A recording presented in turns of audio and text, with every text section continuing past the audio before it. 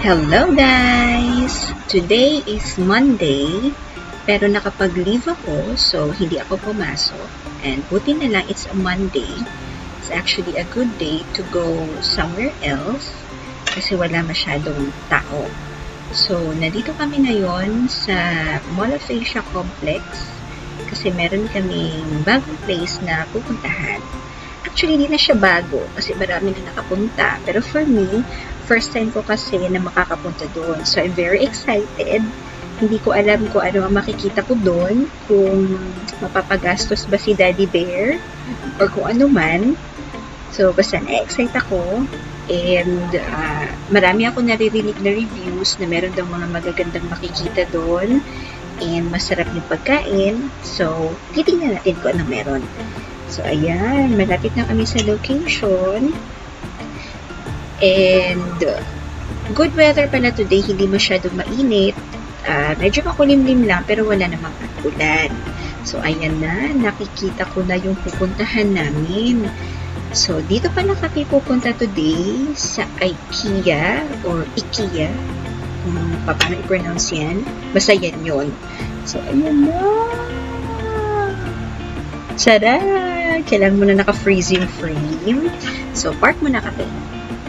Bye! Ayan, so nakapag-park na kami and ganito pala ako ma-excite guys.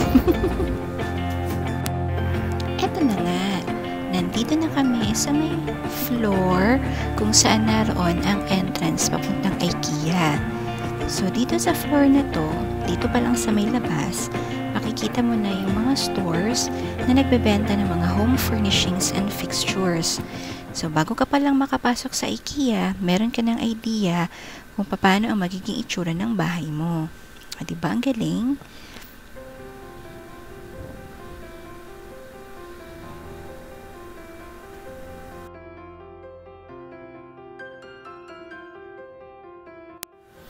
Ayan, so paakyat na kami sa second floor. So accordingly pala, ang IKEA sa Philippines, ang pinakamalaking IKEA branch sa buong mundo. Imagine, galing 'di ba? Pinakamalaking mall tayo, yung Mall of Asia. Tapos pinakamalaking furniture store. Taray.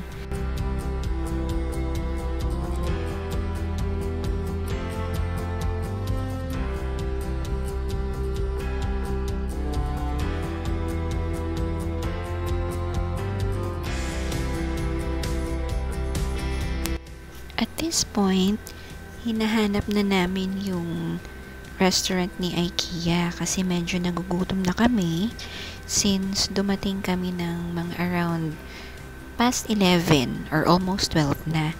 So, medyo nakakagutom na nga. And sabi nga nila, bago mo maikot yung buong showroom, kumain daw muna. Kasi medyo malaki siya and magugutom ka talaga. So, naghanap kami ng restaurant. So, medyo lakad pa pala siya papunta dun.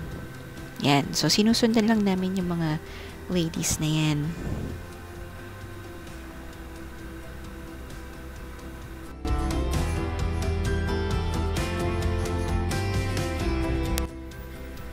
So, ayun nga. Mali pala kami nang nasundan. Hindi pala dun sa floor na yun, yung restaurant ng IKEA.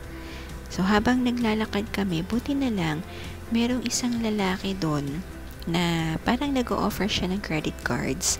So, nagtanong kami sa kanya kung saan yung restaurant ni IKEA. So, tinuro naman niya na akyat pa daw kami sa taas kahit hindi namin tinanggap yung offer niya ng credit card. so, ito na. So, nakaakyat na kami. And sobrang laki pala talaga ng space niya sa loob. As in talagang e-effortan mo talaga siyang lakarin.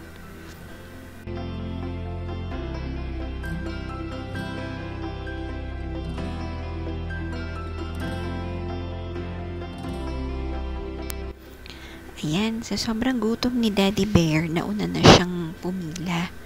So, dito pa lang ako. And dito pa lang sa side na to, meron ng mga showrooms. Ayan. Yan, pwede ka nang dyan mag-start kung hindi ka pa masyadong nagugutom.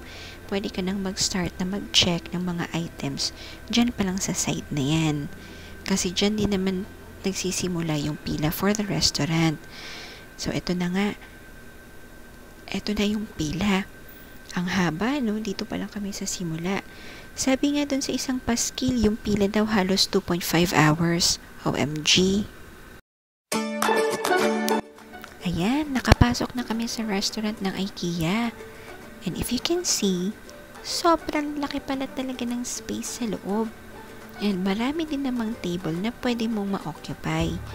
So, you really don't have to worry na hindi ka makakaupo kaagad. Kasi meron at meron naman talagang mapapakante. Yun nga lang, yung ibang upuan, siguro hahanapin mo lang para makaupo ka. And pagdating mo dito, eto na yung pila for the orders. So, ayan, ito yung mga dapat mong gawin para maka-order ka.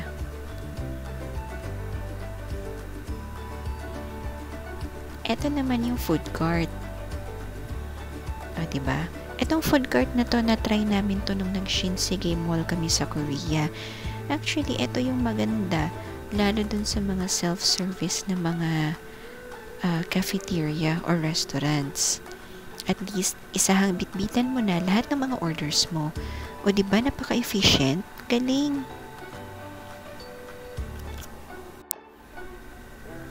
Tadan! Ito na yung order namin. Swedish meatballs, baked salmon fillet, butter croissant,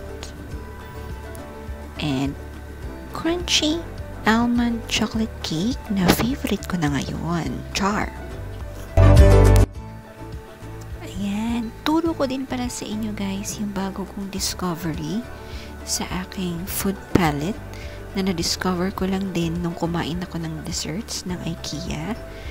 So, combination siya ng butter croissant tsaka ng crunchy almond chocolate cake. Ah, ganyan. Ay, sus. Mm, sarap. Ano? Baka hindi tayo marunong.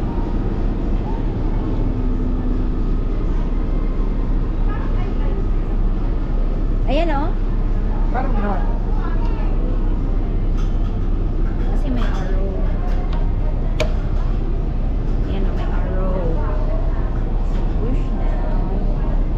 dalawa.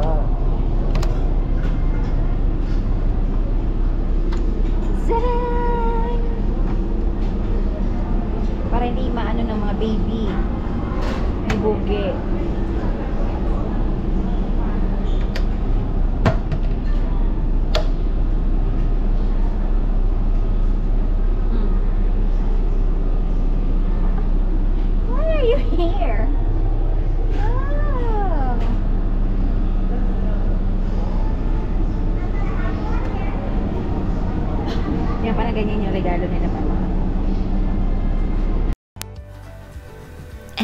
That's it for today's Hayahay adventure at IKEA.